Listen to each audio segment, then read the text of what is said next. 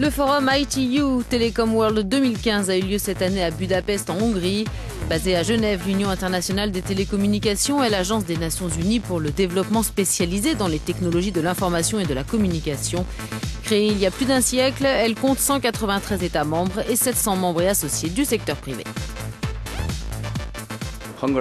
La Hongrie était l'un des membres fondateurs de l'UTI il y a 150 ans et cette année, c'est aussi la première fois que nous essayons de réformer la plateforme de télécommunication de l'UTI en nous concentrant sur le soutien aux PME.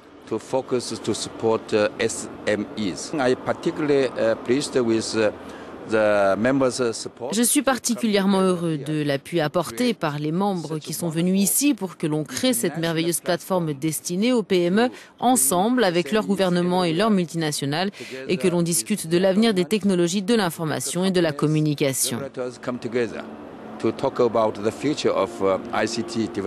Comme l'avenir d'Internet, par exemple, le sujet de cette conférence. Avec ce débat, la toile devrait-elle être totalement libre d'accès ou rester une source de revenus pour de nombreuses entreprises? Cet événement de l'UTI à Budapest est essentiellement un rassemblement de professionnels, mais c'est aussi l'occasion pour les amateurs de découvrir les innovations techniques. Comme par exemple ce système de sécurité biométrique coréen.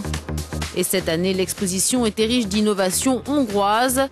Cette société travaille sur les hologrammes en 3D destinés à enrichir encore un peu plus la technologie du secteur automobile. C'est un tapis rouge pour les conducteurs. On leur montre où aller.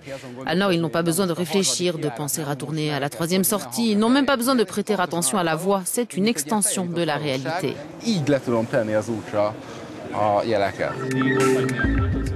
Cet œuf est une bonne solution si vous ne voulez pas laisser tous vos objets de valeur sur la plage lorsque vous allez vous baigner. Vous les enfermez dedans, il est waterproof. Nous avons eu l'idée de créer un coffre-fort portable. Cet œuf que vous pouvez louer sur la plage pour environ le prix d'une bière et dans lequel vous pouvez mettre tous vos objets de valeur.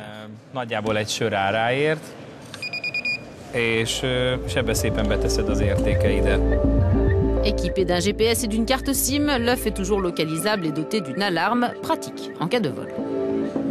Voici un jeu vidéo assez simple, mais créé par une jeune fille de 11 ans, Mira, qui étudie la programmation depuis un an.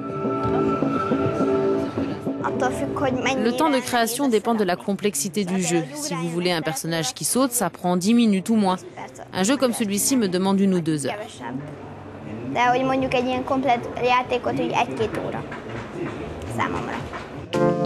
Balach fait également partie de cette nouvelle génération.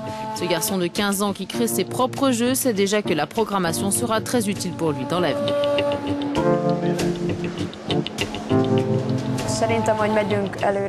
Je pense que plus le temps passe, plus les différents appareils électroniques sont importants. Je pense qu'ils seront l'avenir si des programmateurs vont plus loin que d'autres.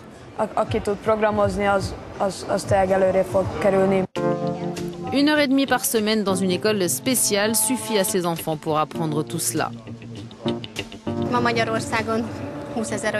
En Hongrie, il y a 20 000 emplois vacants qui nécessitent ce genre de connaissances.